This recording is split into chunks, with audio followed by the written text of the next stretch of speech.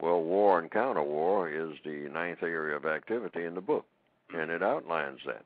And that's the only way that all wars should be fought on an individual basis. In other words, the individual who is hurt the most. Just like the concept of justice, the person who is being needs help the most gets the most constructive help. And the person who is being hurt the most and nobody's doing anything about it, that person has a choice. I won't say it's a duty, but that is an option to compensate by attacking, counterattacking, because the attack has already been made on the person. Person's being mistreated, and nobody's coming to the person's aid. So that person, as an individual, not as a so-called group, I mean, you know, that's that's not justice. Not that's not done in you know. It's the person that's hurting. That's the person. The squeaky wheel gets the grease, as they say. Yes, sir. So that person, in the form of maximum emergency compensatory action, I used to call it justice, but I thought that was going a little too far uh, by by saying that you're actually producing justice. You don't know whether you are or not, but that's the step toward it. So it'd be more accurate to say maximum emergency compensatory action. Uh, that's action with the intent of producing justice, however. Mm-hmm. But to be explicit, it's an action with that intent. Because the intent is always to bring about balance between people. And the best way to make a message between people who are dedicated to doing harm and nothing will stop them is to do harm to the person who is doing harm. Now, if you're going to kill them in order to do that, then in order to prove your motive for doing it, rather than just duplicating what they have done, is that you also kill yourself. That's one of the features of maximum emergency. You tell the person, say, well, I can't stop you from doing what you're doing because you're going to continue to do it. And so I don't know how to stop you and then survive because you have made me dependent on you. So let's do it this way. Let's say you keep mistreating me. Nothing will come to my rescue. And you keep doing it, and you keep doing it, and you keep doing it. And I can't get any help from anybody. And you keep doing it, and it looks like it's just going to keep on this way. There's no relief. There's no place I can go. I can't get away from you. I just have to be in this condition. So, since this is a situation that should not exist, I will what, take what skills that I have, and on a certain day, at a certain hour, and certain circumstances, whatever it is I can figure out in a compensatory fashion, I will take you away from here. In other words, I will kill you.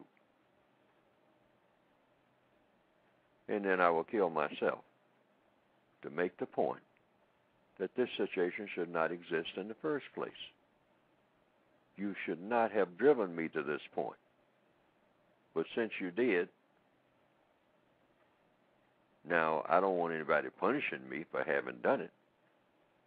But I did do it. So I compensate. I don't want to make a killer out of somebody else. So I killed myself because I killed you. And I killed you because you should be dead on account of your actions toward me. So we both go at the same time, same day. And that will be at least a lesson to everybody else who's walking around here who think that this is the way everything should be, that people should just go on mistreating people. And if it happens enough over a period of time, people will eventually get the message this mistreating people does not work. It simply doesn't work. Because when I mistreat you, it means that I am going to be the result of my mistreatment. my own demise, my own extinction. I can't do it. Maybe people will get that message. That's the procedure. That's the message that's supposed to be sent under maximum emergency. But a person is only supposed to do it when they can't go any further, when they don't have any options, when they can't get away, when when there's nothing that else that they can do except just keep taking it, keep taking it, keep taking it. Nobody's supposed to do that. But it's up to the person, the individual person, because different people have different temperaments. Different people can stand different levels of punishment. But that's the only form of so called violence that's allowed other than direct self defense, which in a projected way that is. Maximum emergency is self defense. But it's defense when you can no longer defend yourself. But this is the only type of counter violence that's allowed, where you take the initiative to make into extinction the person who is slowly making you worthless for having been here in the first place by just mistreating you, mistreating you, mistreating you, and making themselves comfortable by mistreating you. That's justice in its purest form when it comes to counter violence against the violence that's being inflicted. Nobody, logically speaking, who has the correct intentions can argue against that. In the code book, the textbook for victims of racism, that whole chapter, that whole segment, that whole area of activity is covered under war, counter war. War is a system of white supremacy. It's the most potent form of war. If you're going to counter that system directly, toe to toe, you don't do it by dropping bombs on cities, killing babies, and all this type of stuff, or just kill anybody. No. You go after the individuals specifically who are doing the most damage once you find out who they are. And without warning, because they've already had their warning by having done what they have been doing. And you have already asked them to stop doing what they are doing. But being what they are, they continue to do it because they think that's their mission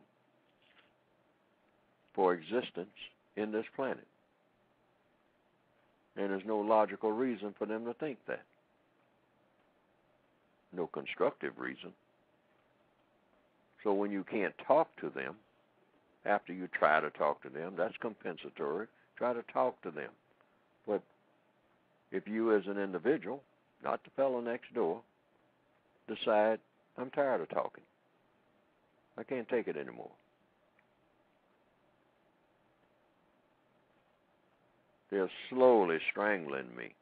They're making me into a worthless organism. And they're enjoying it. And I'm not taking it anymore. As of tomorrow or the next day or whenever I decide, you're your own general and your own private, your own corporal, your own politician, in your own army, an army of one.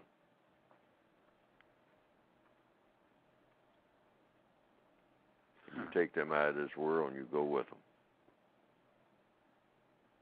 Doesn't get any better than that. And then the people who hear about it can evaluate it for what it is and say, well, looks like a message was sent.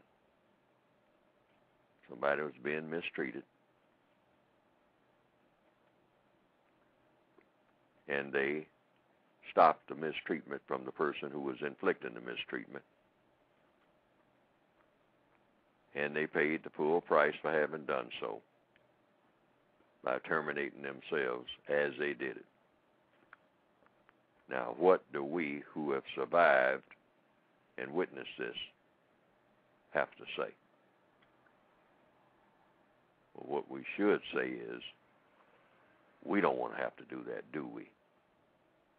To each other on this wonderful planet that we have been given. This is not the way to run this business of running this planet. So maybe we all ought to change. How about that? That's the message. Very clear message.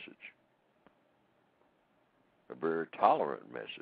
A very logical message. A very just message.